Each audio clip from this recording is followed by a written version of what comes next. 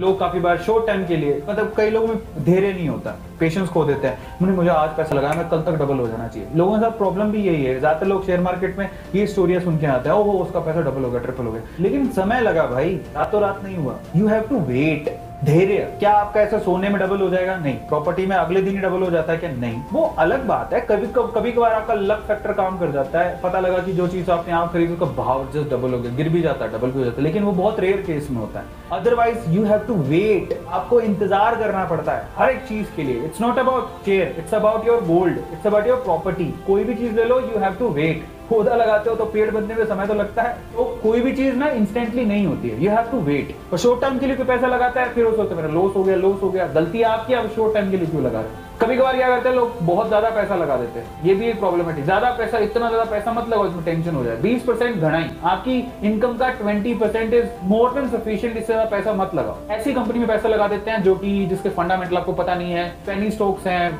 मालूम नहीं है वो कंपनी कैसे परफॉर्म करेगी, किसी ने बता दिया, आपने लगा दी रिसर्च भी नहीं करी। एक ही कंपनी में पैसा लगाने भी गलती होती है। बहुत लोग एक ही कंपनी में पैसा लगा देते हैं, वो भी गलत बात है।